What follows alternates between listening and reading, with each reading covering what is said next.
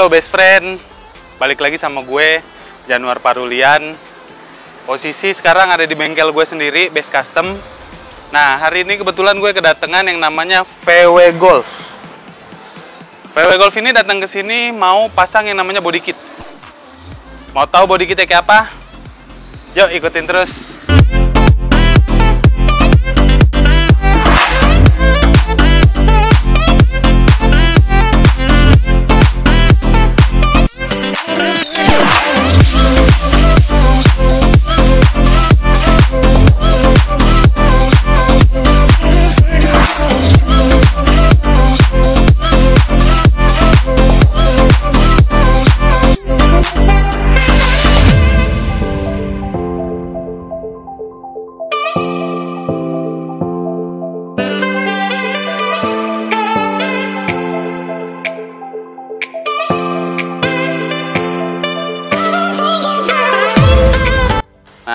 Setelah tadi habis dilap permukaan yang mau kita tempel, ini kita tempel dulu yang namanya lem ibon.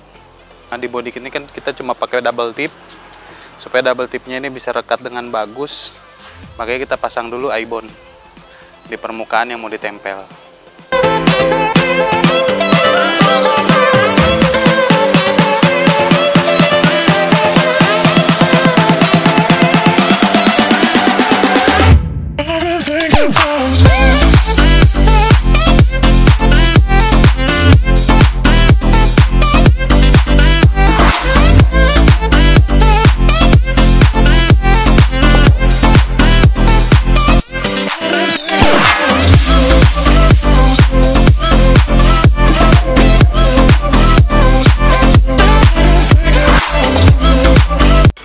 Lanjut ke pemasangan side skirt. Ini pemasangan cuma pakai silen doang. Jadi karena barang sudah plug and play, ini cuma pakai silen doang. Tapi untuk sementara nanti biar dia nggak mentok permukaannya sama pintu karena ini agak rapat dengan pintu makanya diganjel sama yang namanya karton proses pemasangan baut nah ada sedikit di bor tapi cuma di bagian inner fender jadi nggak merusak yang namanya nilai mobil atau nilai jual mobil. Jadi pasti aman.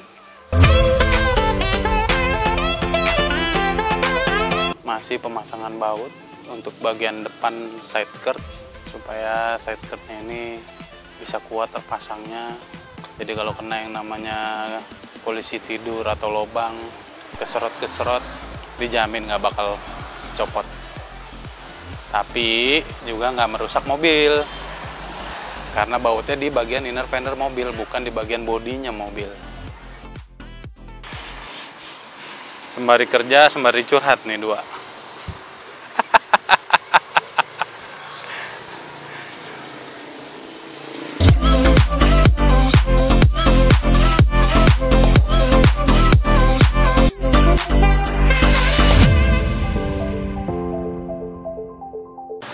Lanjut ke proses pemasangan diffuser belakang.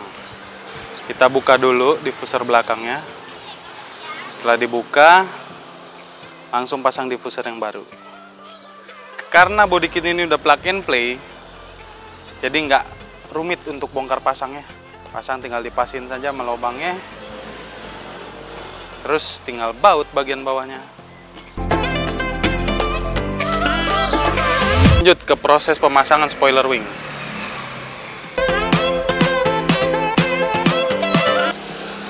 Proses pemasangannya simpel. Lu cuma perlu nempelin aja karena udah ada double tipnya di spoiler wingnya kayak gini. Jadi sebelum ditempel kita garis dulu permukaan yang mau ditempel supaya kita bisa olesin atau kita bisa pakein yang namanya lem ibon ke permukaan yang mau ditempel tanpa harus keluar dari batas pemasangan double tip ini.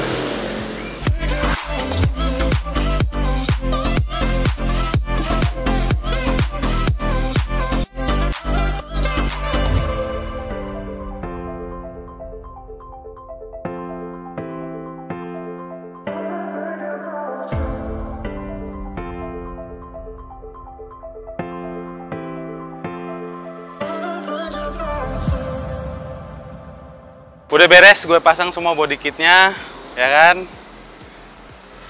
Untuk bagian belakang diffuser ini, gue sedikit menjelaskan ya. Mau gue sedikit jelasin. Ini gue buat jadi 4 piece. Oke, jadi boleh zoom dikit ke sini. Ini kiri dan kanan, lo bisa copot terpisah. Terserah mau lo pakai atau enggak, lo bisa copot. Kalau lo mau pakai, tinggal pasang lagi. Bagian yang tengah pun, kalau lu kurang suka ngelihatnya, lu bisa copot atau lu bosen, nanti lu pasang lagi, itu bisa lu buat. Gitu. Jadi di gue nggak perlu pusing untuk bikin body kit, mau apa pun, lu mau buat seperti apa pun, base custom bisa buat. Untuk eksterior. Untuk yang lainnya, lu bisa langsung datang ke bengkel gue. Nih alamat websitenya, dan alamatnya bisa lu lihat juga di website gue atau mungkin di Instagramnya Base Custom. So, ada apa pun lo boleh tanya, lo boleh DM ke gue. Enjoy videonya.